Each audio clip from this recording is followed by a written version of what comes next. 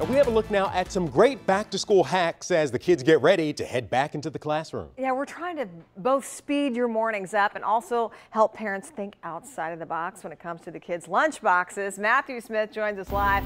Now, Matt, we've been hearing from our viewers a lot about this this week. Yeah, we've actually been talking to him throughout the week about back to school hacks. Now, one that I'm doing right here, this is kind of cool. Uh, this one isn't going to be speed, it's just one that's a little bit more interesting. The idea here, you actually cut the uh, apple on each side of the core, and what you get is this cut. Now, you're wondering, why do I have this wrapped around? This is actually can be used wristband, you can use a rubber band, but the idea is your apple doesn't oxidize. About an hour and a half ago, we cut this thing, and it looks like we just cut it moments ago. We're gonna walk around the back because got my backpack, my uh, morning stuff that I have back here. Uh, think about when you're packing your kids' lunch. One of the things I did all the time when I was a kid, I lost my parents' uh, uh ice packs.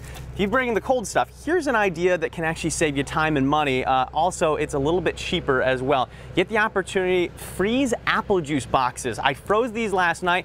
They're starting to thaw out right now. And in fact, uh, I'm gonna try to drink from this in just a little bit because it, the nice thing is, is now it's keeping your stuff cold, but it's also uh, if you lose it, well, it's just one apple pack, right? Uh, here's something else. If you want to have some time savers, this week I met up with the Wrobel family and we talked a lot about meal preps, even dress preps. And they got two kids in the house, you see? So they're all about meal prepping. But today we came up with some new ideas that they hadn't even thought of. And yes, that is why if you're taking a look at your screen here, you're gonna see us making peanut butter and jelly sandwiches there. How big of a help can some of the time-saving hacks that we're gonna be previewing in the next half hour be?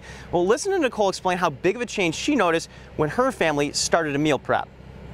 have everything planned out in advance, and I look and I say, girls, we have an extra 10 minutes. Mm. This is this is fantastic. So we can go ahead and, you know, do whatever it is that they need to do. Or do you have a couple minutes? Do you want me to go over your spelling words one more time because you have a spelling test coming up this week. So we have a, a little extra time to go ahead and get some more things done that we might not otherwise.